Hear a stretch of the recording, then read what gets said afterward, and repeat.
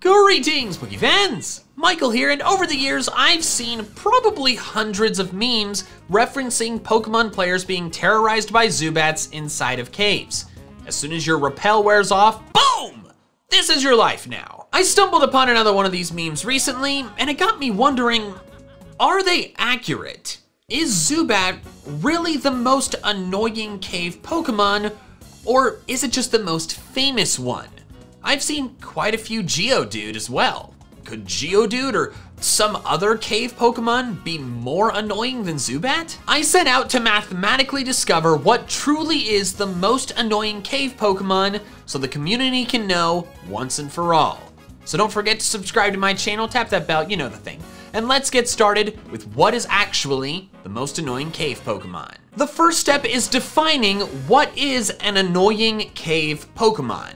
In my experience, and I'm sure the experience of many of you as well, what is annoying about traversing through Pokemon caves is that every single tile you can step on is basically like a patch of grass. Your traversal can be interrupted by a wild battle every single step you take, and that's annoying. Therefore, the Pokemon in caves that are the most annoying are the random ones that you cannot avoid without using a repel. Because of this, these are the only type of encounters I'm going to be looking at for this analysis. So other type of wild encounters in caves, such as fishing or rock smash or overworld encounters like in Let's Go or in Sword and Shield, I'm not including those because they're comparatively easy to avoid.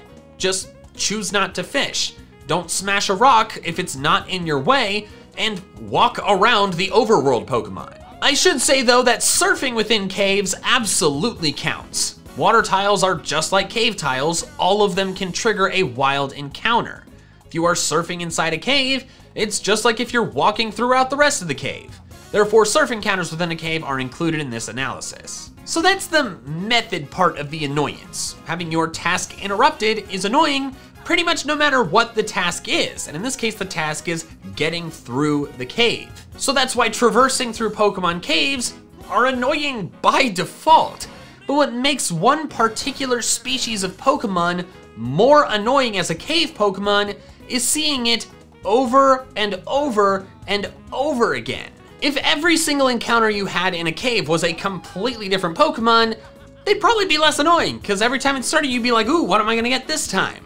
But if it's the same Pokemon, especially a weak Pokemon, that you're seeing every time you take two steps, that specific Pokemon is gonna end up on your naughty list. Therefore, how I defined the most annoying cave Pokemon is the one that is a random encounter one that shows up the most often and in the most places. If a Pokemon has an extremely high encounter rate, but it only has that encounter rate and only shows up in one specific location, it's not gonna gain a reputation as an annoying cave Pokemon, because you only gotta deal with it in one place. So now that we've defined the parameters for the most annoying cave Pokemon, I can get into my methods for how I figured it out.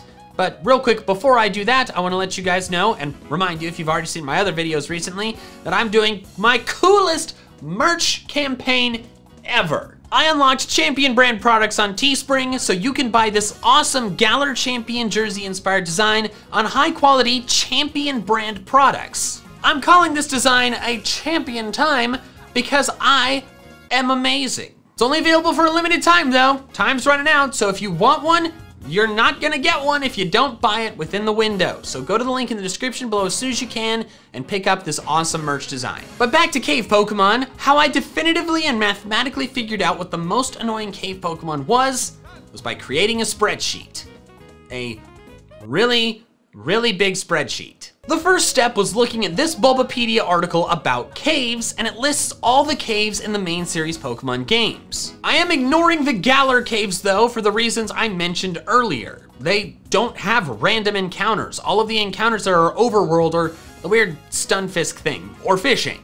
So therefore none of the caves in the Galar region apply to my parameters for what cave Pokemon are annoying. I then would input the encounter table data for a particular cave into the spreadsheet. One row for every floor in every game that a particular cave shows up in. Take for example Rock Tunnel. It has a lot of rows because it has multiple floors, and these multiple floors show up throughout 10 games in the main series. Okay, technically 12, but remember, no Let's Go Pikachu, no Let's Go Eevee, all the encounters that are overworld, no overworld encounters. Those aren't annoying. Then I go horizontally with each column being a Pokemon. I input its particular encounter percentage and check the sum check column to ensure that our row always totals to 100%. Side note for the locations where the encounter table changes depending on the time of day, I took the averages. So, as an example, the Violet City side of Dark Cave in the Johto region has a 34% chance of giving you Zubat in the morning, but then 39% during the day and at night. So Zubat's value there is the average of those three, and it ends up being 37.333%, 37 and a third. Then back at the very top of the spreadsheet is a row keeping track of the total percentages that a Pokemon has throughout all the various floors and all the various games. These percentages aren't actually a percent of any total in particular, they're just the total amount of percentages that a Pokemon built up. I think this is a good way of mathematically determining what the most annoying cave Pokemon is because it takes into account how many different games it shows up in, how many different caves it shows up in, how high its encounter rates are, and so forth. Making this spreadsheet took forever, oh my god. Manually entering the data was very tedious, but also very time consuming, so time consuming that while I created the spreadsheet, I didn't finish it. I got to about most of the way through Johto, and then I just didn't have time to work on it anymore because I had other videos to make. So I want to give a quick thank you shout out to my cousin William, who finished it for me. He did like Hoenn Onward, and he is the reason that this video is happening now rather than like five months from now. Also, a quick little fun fact to uh, pat myself on the back. There were a few times during this where I discovered that the encounter table data in Bulbapedia for a few places totaled to more than 100%. Ha! It was wrong. So I actually made a Bulbapedia account in order to fix these errors. So I contributed to the community. You're welcome. But now for the moment you've all been waiting for. What is the definitive most annoying cave Pokemon? What Pokemon shows up the most often in the most caves throughout the most games? Well, the answer is incredibly Zubat. Yeah, I was kinda hoping for a big fun surprise reveal too, but uh, nope, the memes exist for a reason. Zubat is genuinely everywhere. Here are the top 10 most frequently appearing cave Pokemon throughout all the main series games that were a part of this analysis.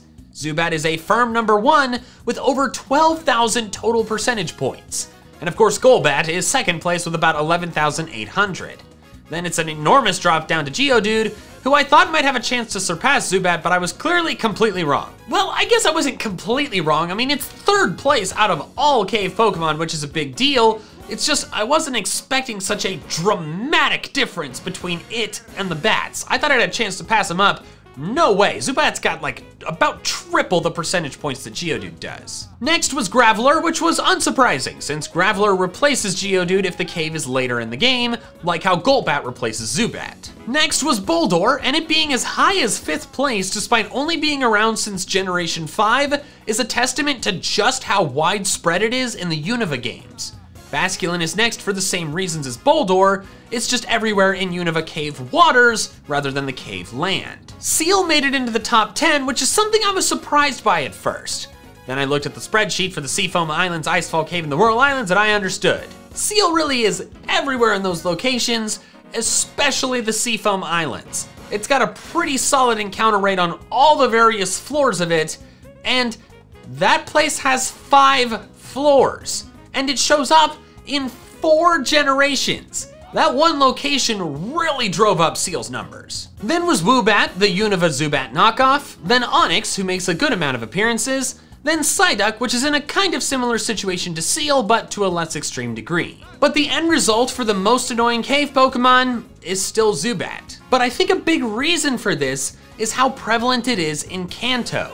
It's in so many of the Kanto caves, and there's quite a few of them, and those caves show up in 10 games that are a part of this analysis.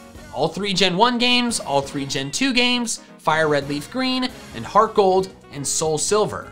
Compare that to the Kalos caves, which only show up in two games. Because of this, I wanted to find out what the most annoying cave Pokemon were in each individual region.